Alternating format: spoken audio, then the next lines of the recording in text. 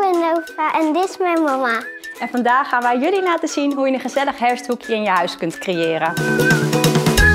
We zijn naar het bos geweest en ik heb allemaal spulletjes gevonden.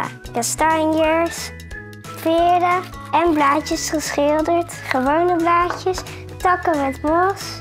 Daarna zijn we wezen winkelen bij de Vibra en hebben we allemaal mooie spulletjes gekocht voor ons herfsthoekje. Als basis gebruik ik het vachtje en dan leg ik de plankjes op.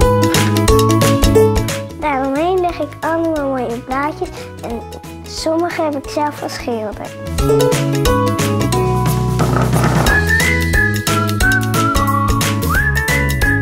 Op de plankjes zet ik kaarsjes die je in de avond gezellig kunt aansteken.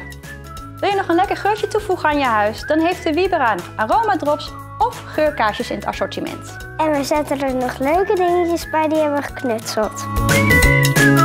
Vibra heeft een inspiratieboekje gemaakt waar je kunt zien hoe je zelf deze knutsels thuis kunt maken. Tada, ons herfstdoekje is klaar. Op de website vind je nog meer leuke ideeën voor je eigen herfsthoek. Deel je gemaakte foto op social media en tag die met hashtag Vibra Herfstfeest.